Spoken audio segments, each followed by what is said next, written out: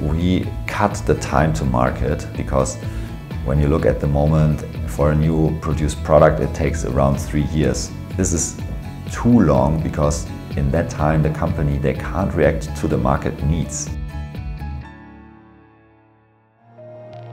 My name is Max Wittstamm. I'm from Germany. My background is mechanical engineering and now I'm developing AssemblyWise together with my strong team from data science and AI. When I was working in Germany, I did an internship in the automotive industry. I was very happy because I thought this is the dream work of the mechanical engineer. Actually, the engineers, they were not too happy about their work because it was so stressful. I learned that actually they are more becoming project managers, managing suppliers, uh, meeting the budgets, meeting the deadlines. We developed the AssemblyWise to help the engineers, empower them to become more free and do what they really want to create the user value. And this is what we achieve by automating the tedious manual tasks in the product development process. AssemblyWise cuts the time to market for newly introduced products by pioneering a novel spatial AI for industrial CAD data into an AI to perform the much more complicated tasks than previously just extracting the geometrical information from that data.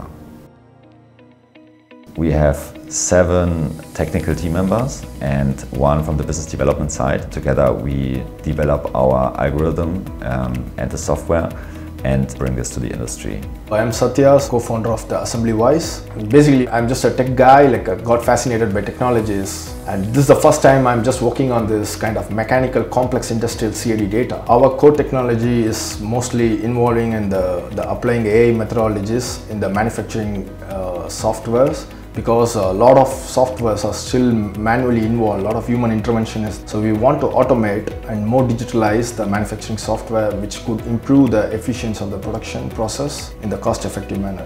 It's a multi-step process, so a lot of uh, mathematical modeling involved and a lot of complexity involved. So we need to segregate each step and modules and we need to investigate our solutions. So how we apply in the CAD systems because the things much varies from you know industry to industries like in the, even in the CAD systems. We are developing a software as a service application that will be widely available to all CAD systems and we launched our first prototype in the Onshape Cloud CAD platform. So we already have two companies using this prototype. Our software is completely based on the cloud-based software. We host our app in the AWS, so which is having the cloud-based uh, like infrastructure as a service they provided much better, as well as the security also much better and more likely the real-time collaboration can be possible. We are just uh, currently handling a data of the contract manufacturers from the GBA area, Rompa. So we are using their product CAD system product of trimmer assemblies. I think they are taking six hours to derive a sequence uh, we cut off the time, especially less than 20 minutes by using our app. The government, they identified the innovation as one of the major driver of the economy. They are trying to break up this focus on the financial and the insurance by developing novel industries. Hong Kong is well connected. For example, in Germany, maybe you are in a city like um, Aachen, which has a small community but then when you really want to meet the investor or like another stakeholder, maybe you have to go to another city, which takes you almost a day, which in Hong Kong you can do like within uh, one day. Hong Kong is an interesting market because it's so dense and you can reach out very fast to the uh, consumers, to the companies, so you can get rapid market feedback. The challenging part of the, when it comes to the software, you need to find the right candidate for the, you know, developing the algorithm because we are currently having the, the couple of PhD guys like in our team, core team.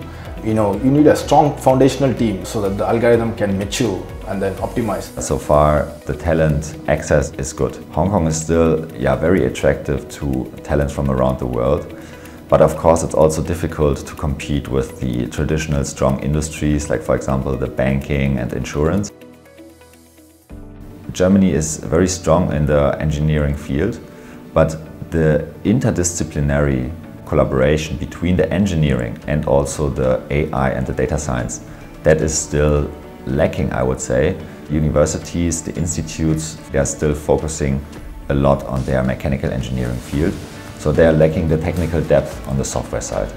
For our project, we have the great opportunities here with the proximity of the strong manufacturing base in mainland China. So we also collaborated with the manufacturer in, uh, for example, in Jiangmen. And um, it was very uh, interesting to see how many manufacturers they operate because it's basically still the, the workshop of the world.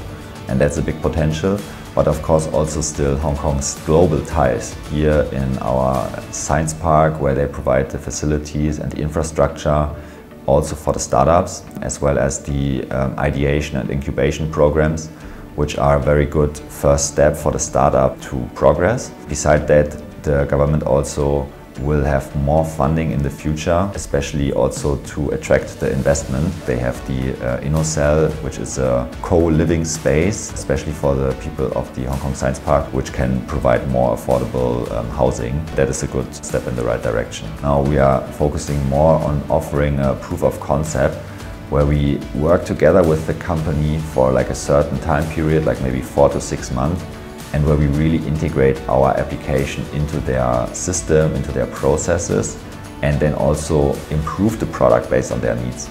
Our mission is to empower engineers to create user value.